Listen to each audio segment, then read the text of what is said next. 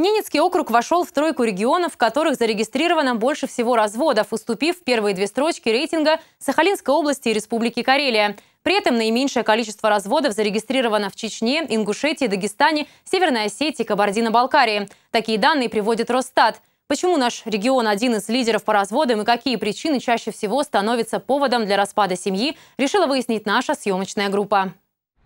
В Ненецком округе за первые шесть месяцев текущего года зарегистрировано 98 расторжений брака, что ненамного превышает показатель прошлого года за аналогичный период. Через орган ЗАГС э, развод оформляется по взаимному согласию и в отсутствии совместных несовершеннолетних детей. Остальные разводы оформляются через э, суд.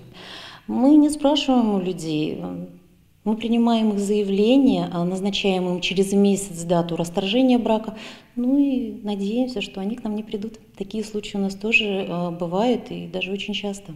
То есть за этот месяц, который дается да, э, заявителю, многие могут передумать. Как показал опрос Всероссийского центра изучения общественного мнения, среди причин для развода россияне назвали бедность, отсутствие работы и возможности прокормить семью. Так ответили 46% респондентов. 22% опрошенных считают, что браки распадаются из-за измены и ревности одного из супругов. Примерно столько же человек считает, что причиной развода становится эгоизм и непонимание между супругами. Такой ответ выбрали 21% респондентов. На ваш взгляд, а что становится причиной для того, чтобы семейная пара подала на развод? Недоверие. Недоверие? Да. Так, а что еще? Может быть, недоверие это что, ну, измена? Из-за измены? Ну, недоверие может э, быть в измене или в большинстве друго, других случаев вообще. А так, может быть, у них еще... Ну, люди чаще всего поспешные выводы делают. Из-за этого, не думая, выбирают. Я думаю, Просто из-за поспешных выводов могут расстаться из-за этого. Ну, может, не сошлись характерами. Можно вообще всю жизнь прожить, все терпеть, а можно сразу разводиться. У каждого по-разному. Ну, у нас ценности вообще поменялись в жизни. Ну, я не знаю, я 25 лет замужем. Развод, разводиться не собираюсь. Ну, а другие, как думаете, что их э, ну, провоцирует на такой серьезный шаг? Ну, у нас такой серьезный шаг, у нас безработица. Это в основном мужчины пьют, из-за этого и разводы больше. Ну, или женщины пьют нас угу. алкоголизм и женский, и мужской же есть. Угу. Хорошо, а может быть какие-то еще есть э, причины? Ну вот, если предположить, что еще может быть? Если будем все устроены на работе, я думаю, что разводов меньше будет. Как показал всероссийский опрос, 11% респондентов отметили важность создания семьи, но не сочли официальную регистрацию брака необходимым для этого условия. Такого мнения придерживаются в основном россияне в возрасте от 18 до 34 лет. Впрочем, большинство, а именно 77% опрошенных, считают, что брак должен быть официально зарегистрирован. Такой точки зрения придерживаются в основном люди старше 60 лет. Добавлю, что сейчас в нашем регионе и в целом по России отмечается снижение количества заключенных браков.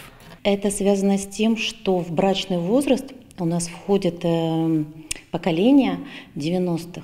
Как раз в тот момент, э, это 94-95, была демографическая яма, снижалась рождаемость. Сейчас эти граждане, они дошли до брачного возраста. В связи с этим ну, в целом по стране такая ситуация. Так что она для округа не критична. Я очень надеюсь, что за последующее полугодие количество браков возрастет, а расторжение снизится. В Ненецком округе самые популярные месяцы, которые молодожены выбирают для свадьбы, выпадают на август и начало сентября. При этом чаще всего регистрируют свои отношения пары, в которых возраст супругов колеблется от 24 до 34 лет. Но у нас зафиксированы и а, более ранние пары, но они, э, например, э, до 18-летия, они вступают в брак с разрешением органа местного самоуправления. А, есть более э, поздние пары, да, это уже пожилые люди. А, некоторые прожили всю жизнь вместе, и вот на склоне лет они решили зарегистрировать официально свой брак. Есть пары, которые друг на друге женятся повторно, а то и в третий раз. Ну, такая привычка жениться. Подать заявление на заключение брака можно как минимум за месяц, максимум за год. При этом в случае, если невеста находится в интересном положении, дату росписи могут назначить раньше. Добавлю, что для регистрации брака необходимо оплатить госпошлину. Ее размер составляет 350 рублей. В случае развода ее размер составит 650 рублей для каждого из супругов. Ответственное отношение к созданию семьи, выбору партнера для совместной жизни и умение находить компромиссы не только принесет вам счастье, но и сэкономит семейный бюджет. Ирина Никешина, Леонид Шишилов, телеканал «Север».